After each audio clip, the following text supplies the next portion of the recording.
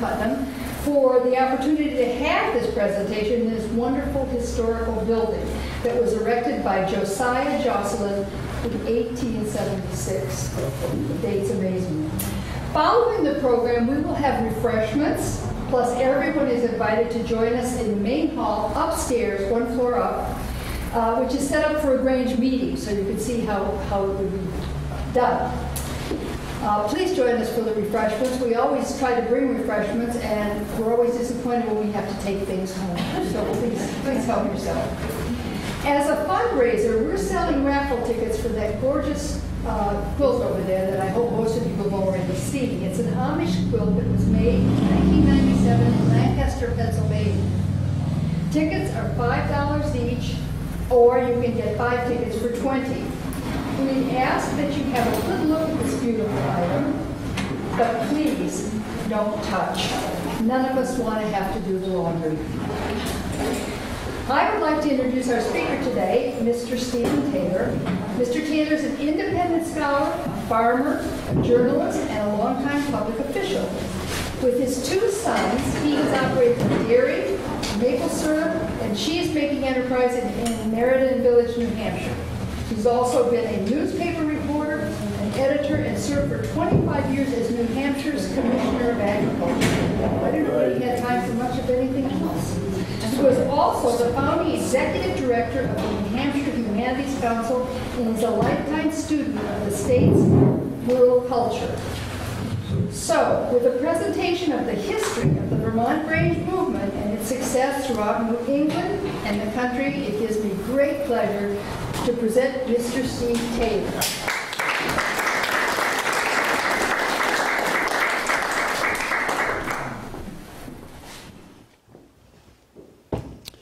Well, thank you for that kind introduction. It's, uh, it's very, uh, very lovely. Nice to be in Bridgewater today. Uh, I live in, as you heard, Meriden Village. Uh, it's part of the town of Plainfield. Now, when I travel around New Hampshire, I always ask, how many have ever heard of Plainfield, New Hampshire? Show of hands, right here. That's pretty good. I was way over in Carroll County last fall, over on the Maine border, and there was a group, well, probably twice the size of this. One hand went up, and that fellow was from Parsonsfield, Maine. So Plainfield is not very well known beyond the valley here.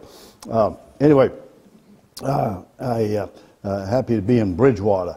Now I know there's a Bridgewater, Mass. There's a Bridgewater, Vermont. And there's a Bridgewater, New Hampshire. Now, I'm not sure about Maine, Connecticut, and Rhode Island. Connecticut. Connecticut. Okay, so you got four out of six. Do you know which town name is present in all six New England states? There's one town. Wa- Warren. That man, give him the prize over there. That's good. Well, as you heard, I've uh, I've been uh, I was commissioner of agriculture for a long time, and uh, I have to explain this thing about independent scholar. Oh God. Uh, anyway, uh, when I retired, I had uh, been working back on the farm with my boys for a couple of years, and a gentleman from the Humanities Council called up and said, you know, we have a stable of speakers that travels around uh, and does presentations for historical societies and libraries and all kinds of groups. And uh, we're a little thin on the subject of rural history, agriculture. Do you suppose you could do a talk about that for us? And I said, well, I think so. And they said, fine. We'll send you some paperwork that you've got to fill out, and then you'll have to have an audition. Okay, well, the paperwork came. And I sat down, started filling it out. And I got to the line that said, What is your terminal degree? Uh oh. Uh, obviously, they're looking for a PhD or at least a master's. I barely got my bachelor's degree, so I laid it aside. Clearly, I realized I wasn't qualified. Uh, and so a couple of weeks went by, and the man called back, and he said, Where's the paperwork? Got to have it right off. I said, geez, I'm not qualified for your program. He said, what do you mean? Uh, I said, I, I, don't have a PhD. I don't have a master's. Ah, he said, we'll call you an independent scholar. Uh, and so uh, around the farm, anytime I foul something up, my boys will say, independent scholar, you know. So that. So I, I started in doing uh, kind of barnstorming around New Hampshire, and I've come into Vermont. I've gone into Maine and Massachusetts uh, with uh, several different talks. First one I did was about the great sheep boom and its enduring legacy on the landscape. Right here in Bridgewater is a perfect example. Any place you got stone walls, you had sheep in the early half of the 19th century. The only time in New England history when people got rich farming. And uh, really, the genesis of the Grange in New Hampshire and Vermont kind of traces to that, the end, the demise of that period of prosperity. And I'll speak about that in a moment. And I've done talks about how cows have nurtured us for 400 years here in New England. And uh, I'll talk about the one room school and, uh, you know, a bunch of different topics. Lately, I've been doing one about the uh, decisions that were made in Concord and Montpelier about where roads would go during the great interstate highway boom and uh, uh, how it's played out for towns, for better or for worse, around these two states. And of course, the, the classic case is Interstate 89. You know, Claremont and Rutland wanted it to go south of Mount Sunapee over to Rutland and up the west side of Vermont and New London and Lebanon and White River. Uh, they wanted to come up through Montpelier and on to Burlington. Well, we know how that played out, but look at the results now. I mean, go to Claremont, the place is flat on its back, and you've got all kinds of prosperity at Lebanon, White River Junction, you know, Hanover. I mean, they're, they're just uh, booming all the time. So it's a, it's a fun story. But this one here is, is part of all the talks I do is the one that to me is really the most interesting because of the alignment of the Grange with progressive causes at the beginning of the 20th century. Very profound in New Hampshire, very profound in Vermont. The influence of the Grange. But uh, sort of to kick it off, really need to start, crank it back to how this organization got going as a national movement. We go back to, well, first of all, what, what's this with Grange? What is that about? What, where does that come from? Well, it traces to the Latin word for granary. And uh, uh, far back is Geoffrey Chaucer, we see reference to grange. And in the British Isles and Ireland, often they'll call a large agricultural enterprise a grange, even today. Alexander's Hamil- Alexander Hamilton spread in New York, he called it a grange. And, uh, but uh, the founder of the Grange movement, this character named Oliver Hudson Kelley, he kind of liked the term. He plucked it out of thin air. It was a title. It, it, was included in the title of a popular novel at the time, and he said, "Well, I'll call this movement for short Grange." But the real name of the movement is the Order of the Patrons of Husbandry. Well, you can see why they they wanted a you know a quick term. Um, so anyway, uh, it's an interesting uh, organization. It is a secret order. Uh, it is uh, uh, organized on four levels. There's a national grange, and in each state there's a state grange. And under each state grange are what you really call county level organizations. They call them pomonas. And then at the grassroots, what they call a subordinate grange. This building would have been a subordinate grange. It's a local grange.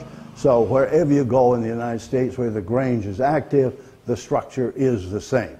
And uh, if you went to a Grange meeting in Bridgewater and then you went to Washington State, it would be very, very similar because they have a very structured meeting uh, uh, protocol. Uh, they all begin with, of course, a prayer and a salute to the flag, uh, and then the opening of the Bible, which occupies a central spot, and I'm sure we'll see upstairs, and then a business meeting, and then entertainment or educational activity, and then a closing ceremony. Now, the Grange, as a secret order, drew its ritual from the Masonic Rite, which traces way back to Scotland in the 15th, 16th century. So, if you're a, a Mason and you go to a Grange meeting, you're pretty much right at home. Uh, all the Granges did was take the Masonic Rite and throw in terms, uh, uh, uh, provisions of soil and fertility and husbandry, the land, the crops, and those kinds of things to flesh it out and give it focus.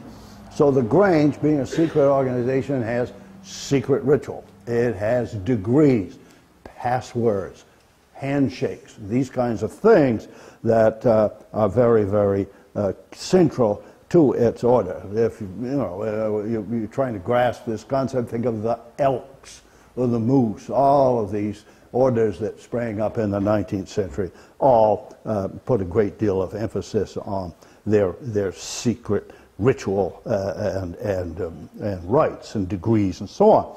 Um, the, uh, the, the Grange's goal from the outset was to teach lessons of brotherhood, duty to God, morality, and the importance of hard work. And the motto has always been faith, hope, charity, and fidelity. Very simple. Um, Oliver Hudson Kelley. Um, he, today we would call him an operator. He was a politician, an investor, a farmer from Minnesota. And uh, uh, from all that I can learn about him was uh, he had a wife that did most of the work on the farm while he gallivanted around politicking and, uh, and uh, making a name for himself. Well, in 1866, uh, President Johnson called on Oliver Hudson Kelley to go to the former states of the Confederacy and do an assessment of the state of agriculture and food production. Now, that's quite an assignment. You know, they hated Yankees, and, they, you know, a year and a half earlier, they'd been killing them. And so Hudson went, Kelley went down there and, and did the job. He looked around, he, he wrote up reports, brought them to the White House, and some of his recommendations actually made it into legislation during the Reconstruction period. But while he was doing this, he came up with this idea. He saw a need for a society of farmers. And he was very insistent that it be a secret order, that the farmers could gather and practice a ritual that that would bind them together. And so this was his dream and his idea. But as he was pulling it together over the next year or two, he had a niece that convinced him that this new order that he was putting together needed to have women members as full equals with women having the privilege of serving in any officer. Now that's radical. You think about it. That's 60 years ahead of universal suffrage. And when even the idea of suffrage was, was hardly even on the radar. Uh, but here, this, this niece said, women. And I will argue today that the influence of women had a very profound, the, the presence of women had a very profound effect on the political positions that the Grange movement would take. The concern for the welfare of children, for improving education, better health, highways, reforms, all sorts of reforms. I say many of them were driven by the feelings of women. So uh, put that down, please. Um, so anyway, uh, he started out with eight disciples, and one of them was a character named John R. Thompson, and he's from New Hampshire, and you can go up to Littleton, in the field up there is a big boulder with a, uh, um, a marker on it uh, memorializing his contributions to the organization of the Grange. And he happened to marry a Vermont girl from St. Johnsbury, and after the New Hampshire Grange was up and running, he came over and helped organize the, the Grange movement uh, in, in Vermont. Uh, anyway, the first meeting at the national level was in 1867. Now, bear in mind, this is primarily an upper Midwest organization at the outset because that's where Kelley was from. Uh, it never really took root in the South, uh, but in the North and across the northern parts of the United States, it, it really got going. Well, look at how uh, the country was changing post-Civil War.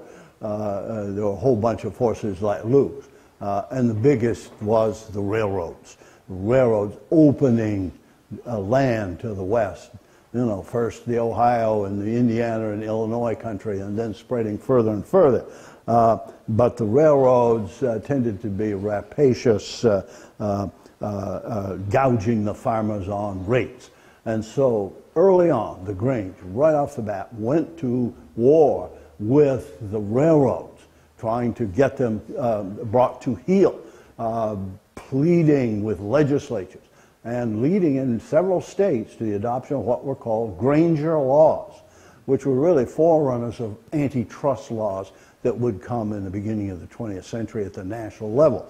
So the Grange was very much uh, a political organization from the get-go. But the Grange was sort of functioning on three tracks. The political, as I just said, and then uh, sort of the economic. Uh, they got into cooperative buying and marketing. Uh, farmers needed a way to pull their crops together in a large aggregation and uh, get a better price. And similarly for inputs for agricultural fertilizers, seed, uh, grain, those kinds of things that they needed to, to produce, uh, if you, you got a large number of people together uh, to, uh, to, to uh, seek, you know, uh, to, to go to market and try to get a better price. That was a Grange goal. And then the, probably the third and most important in terms of building this, this order to get the numbers was the social dimension. You think of rural America in 1868 or so, no television, no newspapers, no te uh, uh, telephones, uh, might see a newspaper once a month. Uh, you know, it was desolate life.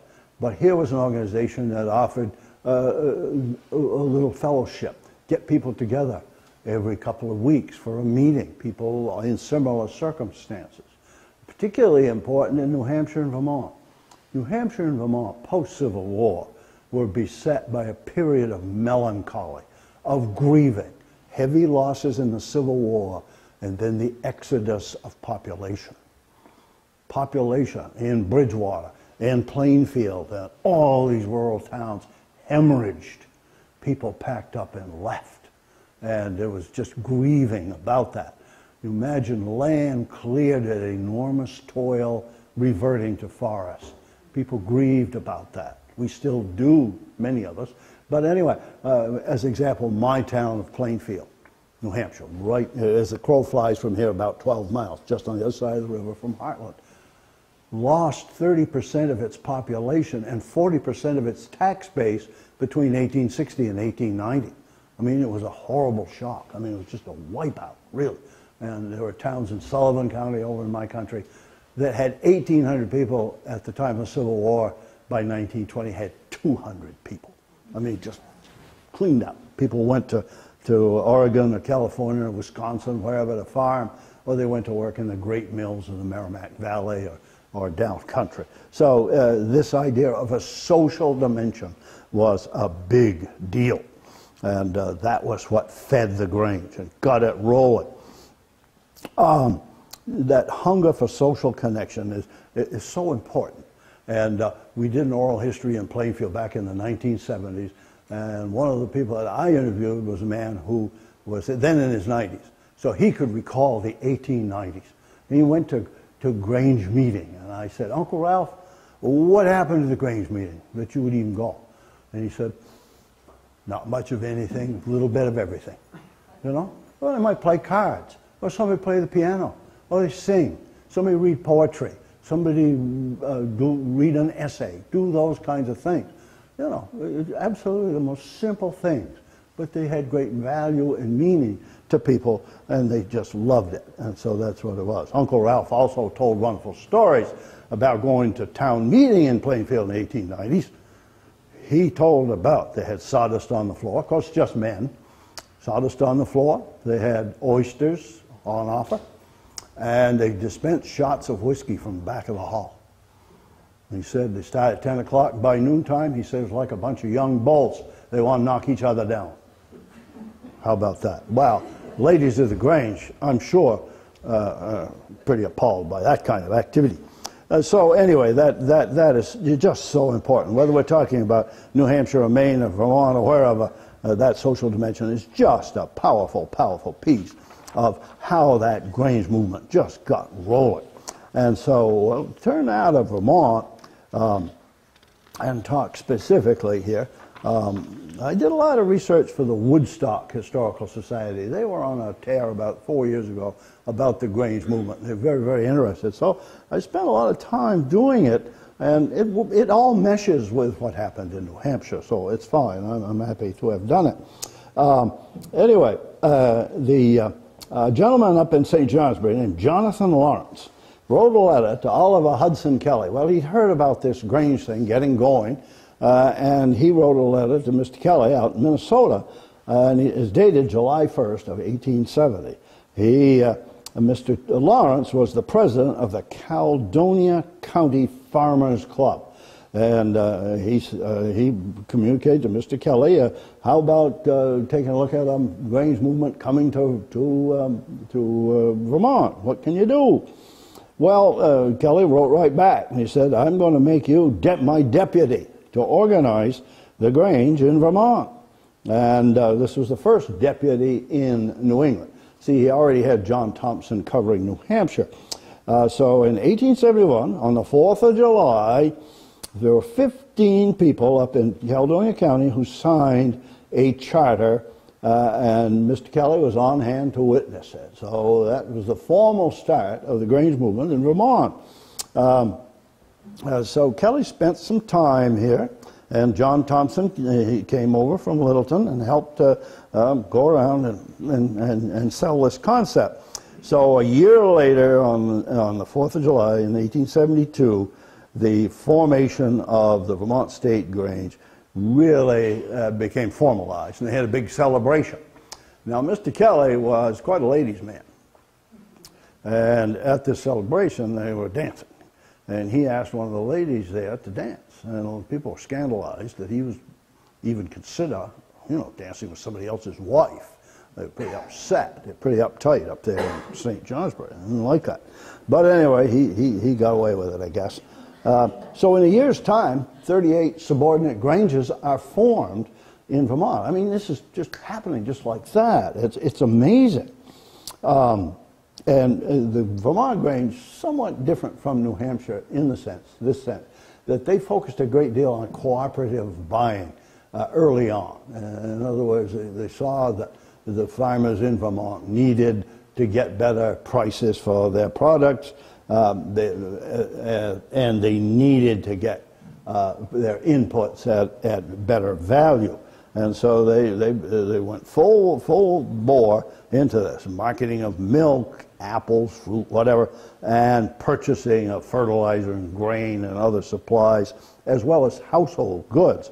And uh, it, uh, it immediately provokes a great deal of anger amongst the merchant class.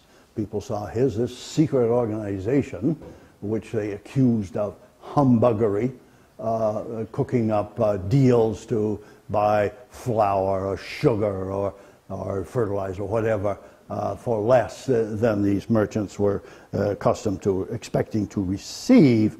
And uh, the merchants uh, prevailed on a number of newspapers to um, editorialize against this Grange movement uh, getting rolling and uh, focusing on cooperative buying and marketing.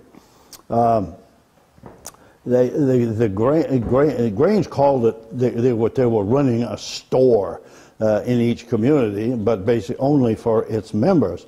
And they projected all kinds of savings on things like corn, flour, supplies. But that uh, the, the, the, the merchants began to fight back with secret discounts. Uh, somebody might go into a general store and say, well, Joe, I can get um, some flour from, through the Grange for 50 cents. And the merchant would say, well, I'll tell you what, I'll let you have it for 45, but don't tell anybody about it. You know, so that was going on. So, you know, I was trying to undermine this new, new economic force that was uh, right there in, in, the midst of the community. Um, but uh, the Grange also had a lot of problems. People would say, yeah, yeah, yeah, that's a good price. I want, I'll order a barrel of flour. And when the barrel of flour arrived, they didn't have the money to pay for it. Well, you know, the supplier wants to get paid, and so the Grange is in the middle.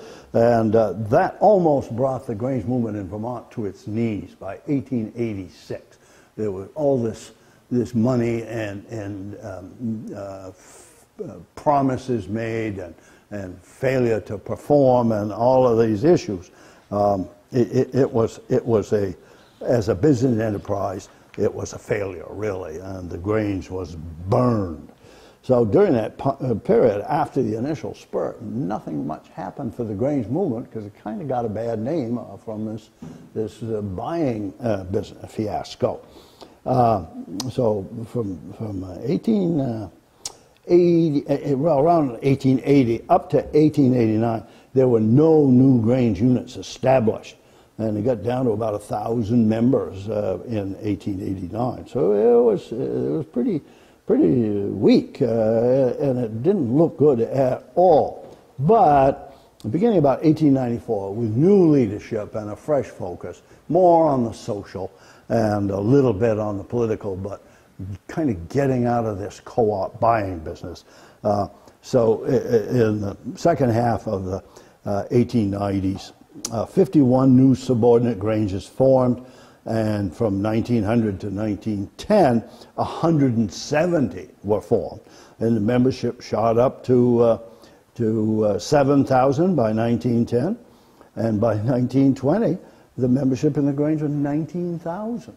And it was similar in New Hampshire, really the 1890s and the turn of the 20th century, the numbers shot up. And at the peak in New Hampshire, uh, they got up to 320 subordinate granges and over 30,000 members, which if you put it against the population of the state, about one in every 11 persons in the state of New Hampshire was a member of the Grange at the peak. And so it became a real potent political power in a lot of districts. You couldn't get elected unless you were a member of the Grange. Uh, so it was a pretty potent organization. Not quite so much in Vermont, but certainly uh, influential in numerous ways. Um, uh, the uh, uh, railroad battles in Vermont were very, very interesting. Uh, the, the farmers were convinced they were getting gouged by the railroads operating in Vermont. There was the Delaware and Hudson and the Rutland Railroad and the Boston, Man, uh, Railroad, Boston, Maine, and uh, Connecticut Valley. They were, all, they were all evil in the eyes of the farmers. So, in a notorious case of the central Vermont suing its competitor, the Boston and Albany, the court gave a cease and desist order uh, and ordered a restructuring of short haul rates, and the Grange was right in the middle of it. And it brought national attention, uh, but uh, the railroad owned the Vermont legislature absolutely owned the Vermont legislature, so reform legislation didn't go anywhere. Uh, and the same happened in New Hampshire. And they used to say in, at the beginning of the 20th century, New Hampshire was a state within a railroad. All right, in other words, the Boston Maine Railroad. And you know how they did it? It was very interesting. I'm sure they did the same thing in New Hampshire, eh, in Vermont. I haven't really proved it. Was they gave free passes to like the selectmen in towns where the railroad owned property.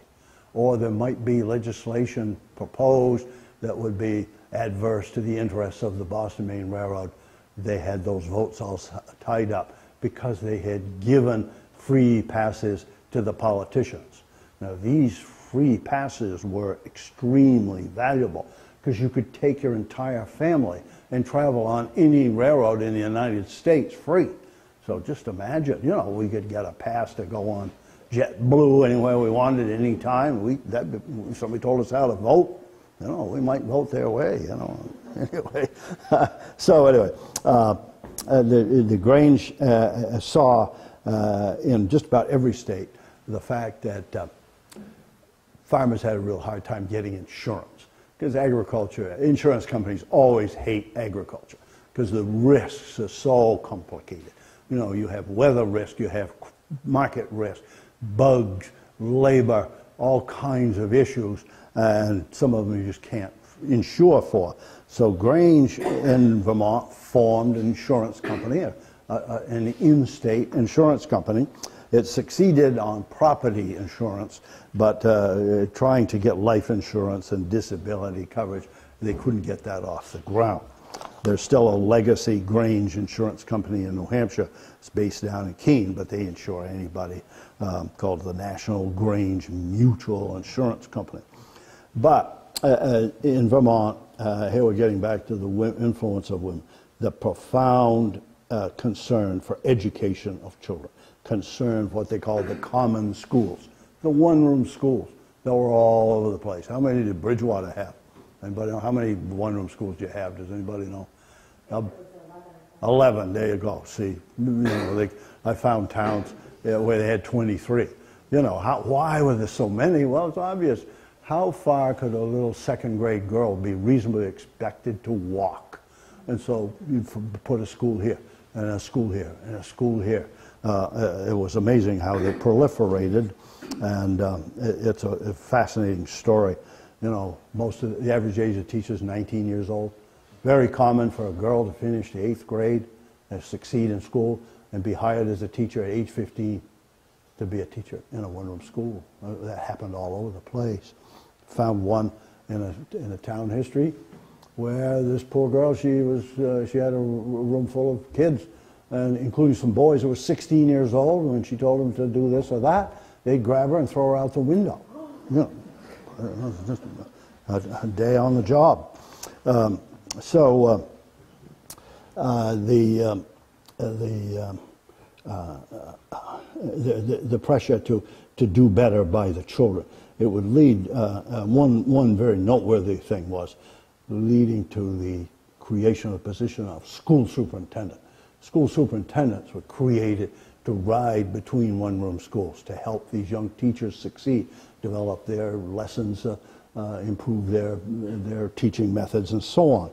Um, and now, of course, the superintendents of school are most powerful figure in many towns. You know, they got all kinds of influence and a big responsibility. Um, but, but in Vermont, the Grange got into a hell of a fight with the University of Vermont. And the Grange was absolutely right, but they never quite beat them, but they came damn close. What had happened was through the passage of the Morrill Act in 1862 and some subsequent legislation gave funds to each state for the study of agriculture and the mechanic arts. And money came from Washington uh, to each state. And that's where we got the land grant colleges now, the great universities all over the country. And in Vermont, the University of Vermont just grabbed the money and didn't spend a nickel on agriculture. They didn't even have a course in agriculture. They never graduated anybody in agriculture for the, for the latter half of the 19th century into the 20th century. And the grains, and they, they had a, they called it a farm, and it was a joke. They didn't, they didn't grow anything there, but they called it a farm. Um, but uh, so the, the Grange said, this is wrong, this is terrible. And they sued the trustees of the University of Vermont, said, demanding that something be done, that uh, professors be hired, and that uh, a curriculum be developed to train farmers and, and do research. Uh, oh my God, and the, the trustees fought back and went to the legislature. And the, uh, the Grange advocated for just a wholesale dismissal of the Board of Trustees of the University of Vermont and uh, boot them all out and start fresh. Well, it was too much for the legislature to go quite that far, but it sure taught a lesson to the, uh, to the uh, trustees and the hierarchy up in Burlington. And slowly along, the agricultural education dimension of the University of Vermont uh, came, came going, came into being. The Carnegie Foundation did a study in 1912 and was still critical and it confirmed the rightness of the Grange and its, and its efforts going back to the 1890s. Uh, the Grange helped raise the money for the agricultural building at the campus, now called Morrill Hall. Just about every land grant college in the United States has a Morrill Hall, but they got theirs. The Grangers also were active in getting fairs going, and that was deemed a big deal. You know, the thing, a good, a good public thing to do is to sponsor a fair. And, you know, little towns put on a fair one day, maybe two, uh, maybe have a regional fair that would take in a county or even bigger. And um, Grange was right in the forefront of that all the way along. Uh, I'm, I'm proud to brag that the first agricultural fair in North America was held in New Hampshire in 1722. There were a bunch of Scotsmen down in a town called Nutfield. It's now called Londonderry. And they had, you know, they came from, from the British Isles where fairs had been in existence since medieval times. They petitioned the governor of New Hampshire for permission to hold a fair. And the governor said, yeah, all right, uh, but you got to have two, one in May and one in October. Uh, pretty, you know, what the heck are you going to do with a fair in May around here? Not much. But anyway, that's what the governor ordained. And he also said there'll be a weekly market. And I, I can argue, I think, successfully, it was the first farmer's market in North America, happened in Nutfield. Well, anyway, that fair flourished uh, down through the years with all kinds of great activities and drew huge crowds. Uh, but as time went on, uh, it became scandalous behaviors, uh, particularly of flim flam. You know, that's a wonderful term. You know, it's activities that separate people from their money right on the border of illegal, you know, flim flam, getting, taking people's money. Such that by 1850, the legislature revoked that charter and ordained that the fair at Londonderry shall disappear in ignoble oblivion. Anyway, but other fairs flourished. Um, well, here in, in, in Bridgewater, it's so interesting. There's the first subordinate grange in Vermont to build its own Grange Hall. I mean, where you're sitting today, I mean, this is a historic building. This is, this is incredible. 120 something years ago, they got together, and a pretty ambitious building. Some of the Grange Halls not much more than hovels. And a lot of Granges, they never could get it together to build a Grange Hall. They might meet in somebody's parlor or in the back of a store or wherever. But this, this is pretty impressive, I have to tell you. Um, those early Grangers, Grangers, they were pretty stern people. No dancing. Even Oliver Hudson Kelley had to cool it. Uh, he asked that lady to dance, and he brought opprobrium from the majority of the people in attendance. But uh, anyway, they had a lot of problems. This, because of no dancing and other kinds of fun, didn't have much appeal for kids. So young people didn't flock to join the Grange. I was in the junior Grange when I was a, a kid for a couple of years. We had one in Plainfield. And uh, all I can remember about it was we spent an awful lot of time putting tacks in people's chairs. anyway, uh, but uh, uh, from, from, from the hierarchy at the state level uh, came down word early on that each subordinate Grange, when it has a meeting, should select a topic for discussion. Needs to be people talking about uh, important issues. And I love some of them. 1870s, uh, some of the topics that were proposed from the state Grange for the subordinates to take up. How much of a man's business should a wife know? How about that one?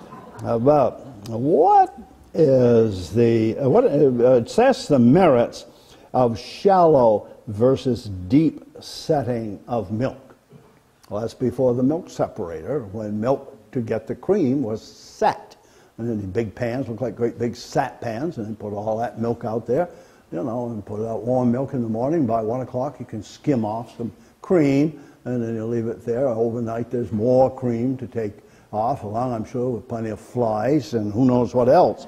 But uh, that you know debate that. Uh, should we have a deep uh, batch of milk or should it be real shallow? Uh, that's a that's a topic for discussion. What's the uh, best ration for a dairy cow? Uh, is two thousand dollars of more value to a young man than a college education? That that that has relevance today. I don't know. I, you know, teenagers around where I am, they'd rather have a big pickup truck than go to college. Uh, my God, the University of New Hampshire now is 59% female. And it's growing all the time. You know, eh, what are we going to do, guys? We got, jeez, I don't know. Talk about veterinary schools. That's, that is where it's really shocking. 80% of the candidates for veterinary degrees today are women. And, you know, farm boys that used to be the core of the veterinary profession, they can't, they can't get 4.0 averages you know, they just can't compete with the girls. And the girls are so smart and so far ahead of us. 1890, some of the topics. How about, well, they talk generally about women's rights and women's suffrage, good topics. prohibition or licensed sales? What do you think? Should we let them have the alcohol but uh, regulate it closely, or should we have all out total prohibition? Good debate. Um, rural free delivery, and this, the Grange prevailed nationally and state by state in the early 20th century. A wonderful, wonderful advance but it was kind of controversial in the 1890s. It was going to cost money. Um, should that be? Should we uh, be doing that? Well, if you didn't live on an RFD, how many how many lived on an RFD in their life? Oh, not much. Well, RFD was a post office on wheels. Came to your door six days a week in a rural area. I mean, it was a huge breakthrough. You could buy stamps, ship a package. Your mail came six days a week. It facilitated the rise of daily newspapers getting like the Rutland Herald, getting to people out in the boondocks. You know, a great advance. And, uh, you know, they brought, they bring a box of baby chicks or a box of honeybees. They still do it. My father was a beekeeper and he used to get packages of bees from Georgia. And oh, did my mother hate bees. And she hated honey, anything to do with honey. My father always wanted to take it off, take off honey. Good day to take, take off honey. And before you know it, kids had it trapped on their feet. It was going all over the house. Oh my God. Um, and then they got into heavier subjects like direct election of United States senators. Realized till 1909, the legislature in New Hampshire Vermont picked United States senators. Imagine the politics around that. Um, and they said that's not fair. And uh, uh, then also, a great reform was the idea of primaries. Up to that point, most elections were basically set by uh, groups of men in smoke-filled rooms uh, at caucuses where they would pick, you know, who are we going to have uh, stand for election in Windsor County?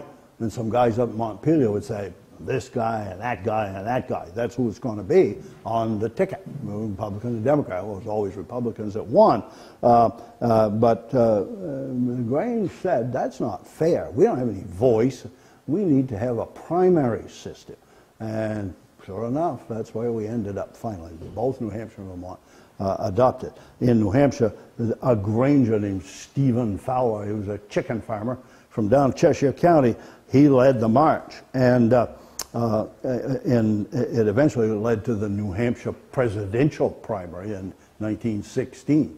And Stephen Fowler's desk is now in the Secretary of State's office and when all these candidates are going to be coming in. I can't even remember their names. There's so many of them. They come in and sign up on Stephen Fowler's desk to be in the presidential primary. 1920s topics. Well, I got into the subject of dehorning of cattle, which at that time was a pretty grisly uh, undertaking. And uh, uh, a lot of people said it's not good. And uh, we do it a little more humanely today, but it's still controversial. Some people think it's cruel. Um, what shall we do with our girls? Uh, I don't know. How would. What? I don't know. Anyway, state police. That's another thing he talked about. We need a state police force. And that idea, that was a Grange idea because what was happening post World War I was the coming of the motor car enabled criminal elements from urban areas like Rutland or Burlington or Manchester they could drive out in the countryside and plunder, you know, burglarize, rob, whatever, and scoot back and couldn't be caught. You got away. And little towns were defenseless. And he said, well, we'll have a state police force to defend rural areas. That was the reason for having uh, a state police. And it took a while. Both states, 1930s, finally took hold uh, to have a state police force. And I'm sure the the, those uh, people that uh, advocated for that would be very surprised to know that the state police are out there with radar guns rather than catching the criminals, but who knows. Uh, anyway, so the, uh, in the office of the Grange, uh, in the office of hierarchy, the, there's the position of lecturer. And it's the lecturer's job to have a program planned for each meeting. So that's to say, well, call up somebody, will you please play the piano at the Grange meeting? And uh, what do you want us to play? Well, play some waltzes or, you know, all of that. That's the lecturer's job. And, uh, but uh, it begins to fade uh, in the 1950s. Uh, all this energy and all this membership uh, begins to shrink, and it would shrink uh, dramatically. Um, in the decade of the 1950s, 23 Granges went uh, out of business. Um, it lost 845 members, and then it accelerated in the 60s and 70s. And uh, well, people say, well, why did that happen? What happened? You know. And I, well, you know, lifestyles changed and, and all kinds of things changed in, in, in rural life. But I will argue the biggest disruptor in my lifetime of rural life is television. Absolute disruptor. In Plainfield, New Hampshire, a little village, Plainfield Plain, it's called. There was a general store there run by Tracy Spaulding. And Tracy, uh, he liked to sit up back and smoke cheap cigars and pontificate, and his wife and daughters did all the work. Okay? Well, in 1953, there was no television around here. Nothing came in. Nothing. And Tracy got a franchise to sell General Electric television sets. And one day a box truck came and unloaded a whole bunch of television sets. Remember, they were big, and big cartons like this, and had them in the aisles between the grocery shelves. Everybody said, Tracy's lost his mind. What the hell is he doing? This is crazy. And he took one out of the box and put it up on top of a little meat case, plugged it in, and all it did was go like that. Then what the heck is going on? Well, April 1954, Channel 3 Burlington and Channel 8 Mount Washington went on the air. And in two weeks' time, people were lining up to buy Tracy's television set. And they weren't cheap, 500 bucks. People going over to Windsor, getting a loan. That'd be like $4,000 today. Getting a loan to buy a television. You get it home, you're only halfway there, remember? Remember those antennas up on the roof? You had to have one of those damn things. But when they got the reception started coming in, everything changed. Everybody started talking about what they saw on television the night before. They hold up watching. You remember Hopalong Cassidy and Jackie Gleason, Playhouse 90, and all these programs. That's all people talked about. And it just shut everything down. You know, little towns, we all put on one act plays, you know, for the hell of it. People, you know, comedies, you know, 35 cents admission, raise money for the PTA or, or something or other. And we all would go. The place would be sold out. Um, it all stopped, just, just like you dropped a, a hammer. Um, and, and, we stopped. You know, the, the, the, worst television program of all was totally corrupt. Uh, you may remember. You old timers, $64,000 question. Remember that? Everybody was talking about, oh, did you see that last night? You think he's going to win tonight? Oh, God, blah, blah, blah, blah. Well, it was all rigged. It was all fake. You know, mean, terrible. But anyway, that's what television did. And, uh, um, you know, it, it, it's all different. Now we got the kids on these damn computers and, and all that stuff. Ugh, you know, it's just terrible. Go to a restaurant. I don't know, in West Lebanon, sit there and look around. People there with their families. They're all damn kids are all sitting there playing on a damn computer. Well, it's terrible. Anyway, so well, let's see. I probably talked long enough. Anybody got some questions they'd like to throw at me? Sure. Yes. Um, that there was uh, a lot of grieving going on after the Civil War in the North because of the loss of the soldiers.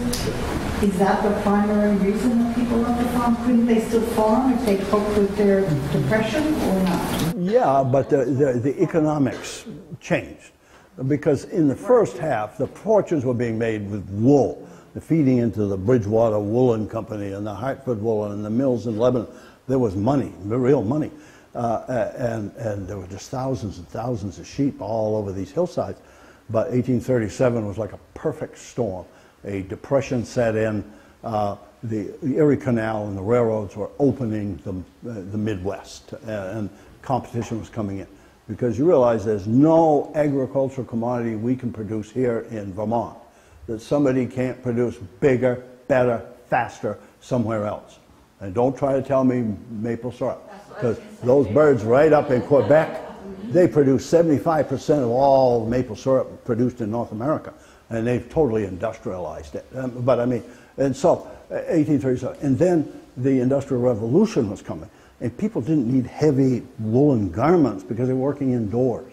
And then the box stove, central heat, didn't need heavy woolen blankets. So you had all these forces, and it just doomed that prosperity. And there was nothing to come along and take its place. You know, we tried uh, dairy farming.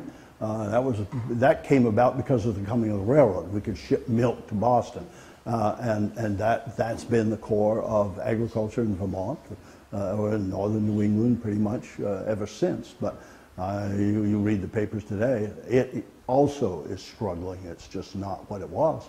Uh, so people just saw no future here, uh, and they they took off.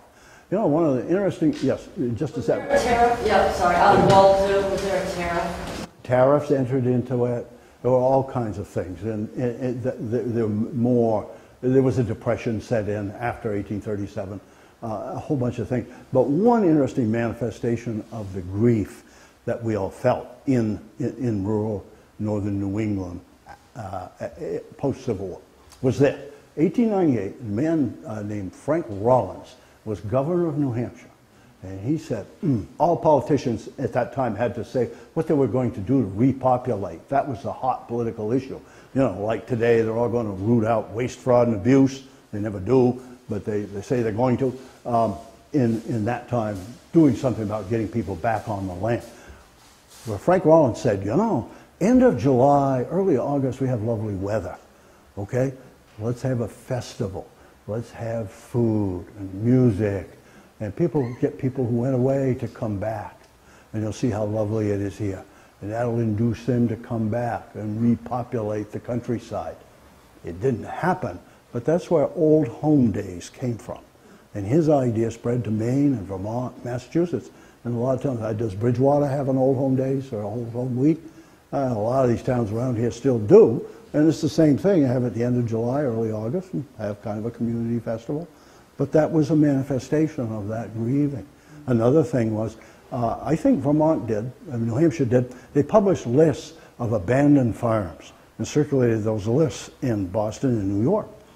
And, you know, 125 acres shed and barn for $105 or 200 acres with house and barn for $400.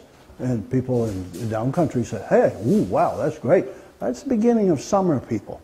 You know, the summer people were attracted, the money from urban areas to come up and buy these properties. I still run into people who, you know, over, particularly over around Winnipesaukee. They say, oh, you know, I never knew. My great great grandfather bought our place for $600 in 1896, and we wouldn't take 900,000 for it today. But that was the times. Now, your question? I'm sorry, I went on too long. Uh, I do have a question now about the, um, the rituals of Yeah. the um, Okay. Grange. How, how much a part of that was the Grange? I mean, did that, did they really do all those rituals? Well, yes, they have- Or did it- Well, somebody who is, any Grange members here, make sure I get it right. This lady right here can tell you chapter and verse. But it was very, very important, and uh, they, the, the, the hierarchy wanted everybody to memorize their parts. You know, the master. Yes, yes. See, the master ran the meeting. It was the president. And then there were these other offices, uh, officers seated around in a square, and they each had a function, and they had parts that they did. You know, the master might say, worthy gatekeeper is the gate closed. And the gatekeeper comes to attention and says, worthy master, the gate is closed. You know, and, and so on, like that. And so each had a, had a piece in the ritual. And the ones that were good, they memorized it. And then I've been to some Grange meetings that were open, and I saw them standing there with a book and they were reading, but that, that's frowned upon, right? See, yeah, good. All right, yes, okay, that gentleman, then over here. Yeah. Uh, I wonder if you know how many Granges in Vermont are currently active, what the membership is, and I'd love to know what the membership of this Grange is. Okay, somebody from Bridgewater got the answer? We're right there, there we are. Yep. Well, I was having this in my mind about, I was going to say this. Pardon me for having a voice. Um, As of the 30th of June of 2018, Vermont had um, 36 subordinate Granges and 1,000 1,102 members with 36 um, with six subor- uh, Granges and 358, total Pomona members. But a Pomona member and a subordinate member are both um, We are at our lowest amount right now. What is it? 23. 23. Um, And that is, in my day of being up towards 100. Um, We are very active, we're still active. We have bingos during the winter. We have, um, we did have a dance this spring. Um, Around the square, everybody kept saying, oh, why can't we have a dance like we used to have? Because we used to have one every other um, Saturday night through the winter. Well, I guess in some in the summer too, but um, the opposite Saturday night, it was at Sherburne Valley Grange. And, and all the time my growing up, we had uh, South, uh, South Woodstock, think.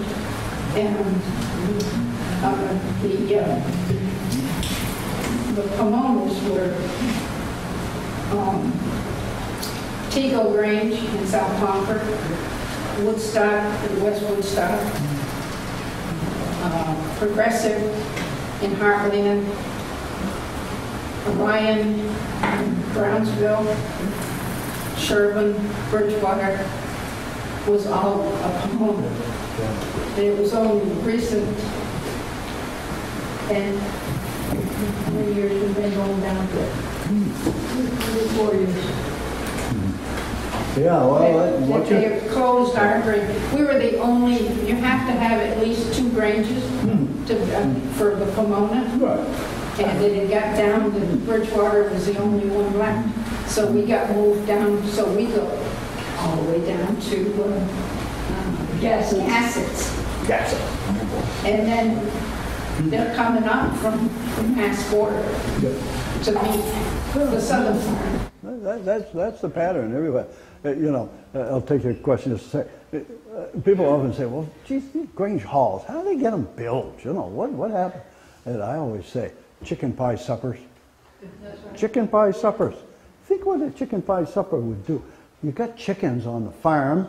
Some of them they stop laying off with their heads, and there's meat for the chicken pie. You got potato, you got peas, carrots. You got somebody who knows how to how to make a good crust and a good gravy. You got you got something people will not pay for. And boy, that is an art. What's that? And homemade pies? Oh yeah, I mean it was wonderful. Yes, your question. Yeah, sir. Well, I asked You all set? Now, gentlemen, right here. Yes, you had a question. Oh, who, who were apt to be Masons and who were after the uh, Grange members, or were they both? Well? Bear in mind, the Masons are a Protestant order, okay? I mean, very Protestant. Uh, and so I, I think you could, you could find Catholics in the Grange, but it, it wasn't as, the religious connection wasn't that big. But in, I know in Wisconsin, German Catholics would not join the Grange because it was too close to Masonic. The, the Catholics formed their own, the Knights of Columbus. Uh, it was, but it did not, the Grange idea never took hold in the South. Um, it, was a Yankee thing and they didn't want anything to do with it. Yes. Uh, one more, right, gentleman right here, and I'll come back to you. Yes, go ahead. So I joined the Grange in high school. I went to one meeting, and when you talking about little things from that. Number one was they almost cut the air because of cigarette, cigarette smoke in the animal. Oh, my God. And one room you went in, well, the gatekeeper yelled, and there was no way out. You had the two doors. During World War II, what did they do? They put you in the service, they put on supper, they took collection, they had us lined up to thank us for going into service. Then they had a dance. Sure. I remember we go into dances at the Grange Hall. The first thing I remember hearing anything public They had someone come in to play the guitar, the drum, and the bass viol, the violin told jokes. That was a big deal. They were on the stage. That's when Friction got hurt. And then during World War II, different rangers had a little band. There was a certain one that people just followed that one group. We were playing air Bridgewater. We didn't go over to Mendon. My cousin would have of the ladies and take us over there. About four or five, and that's what we go for recreation. We were out in the country. We were, we didn't go to Woodstock. There's a social group there, because we were outsiders. We didn't go to Woodstock as kids until high school. But these are things that brought up. And the reading they had, the subject was, what do you have for weeds in your garden? That was the subject. The lecture, of course. And they went around, each person would tell their thoughts. And it was very impressive, that's the ritual they had, and then, of course, the social bit. Egg salad sandwiches. The time of that. Yeah, lots of egg salad sandwiches, by golly. Yeah, That's wonderful. That, that, that's, I love hearing that. That's, that's terrific. Anybody else? Yes, sir. Does the figure of speech blackball come out of the Grange one? Well, it comes out of various of those secret orders. Uh, blackball, uh, they vote, and there's one, and if you're in favor of a person or uh, some particular activity, you, your white ball is yes, and a black ball is no. And in some orders, uh, of one black ball, it could be 10 whites. One black ball, that's, it's a defeat. I mean, it's a, it's a negative. All it takes is one. So that's where the, the expression black ball comes from. You know, I got one of those, like, one of those. Yes. One fellow in South Wichita told me he was blackballed. Yeah. He just died. Yeah. And he told me one story. He said, the cows came in, they would just get stuck in the mud. There's a mud hole by their house. So as the days went by, he kept putting water in the mud holes. And people got stuck, he'd get paid for pulling them out. And his father said, uh, I won't give his name, maybe you better stop. He told me he got blackballed, so he just climbed a little hill around and did blackball. That's a good one. I love that. one. Oh my God. Well, you've had enough, have you? You want me to wrap it up? Okay, well, sure. Thank you, folks, very much. Uh, There's stories we can go on all day and all night. I know they're wonderful stories, but that's rural life, and that, that's what, what all of you really are lucky to be a part of. I mean, I can go into Manchester or Nashua, and, and I talk about this, and I just get blank stares. But you folks, you understand rural life, how, how interesting it is. And, and really, the interpersonal relationships are so much different what we are able to live with up here. And, and it's wonderful. Yeah? One thing you didn't mention was the Memorial Day parades that were put on basically by the Grange Yeah. and the uh, veterans. Yes. And uh, um, we just down in Grafton, Vermont celebrated 145 years Wow. marching with the uh, Oh, parades with the uh, Grafton Coronet Band. A cornet man. That's great. Well, thanks, everybody, very much. Thank you. Good. All right.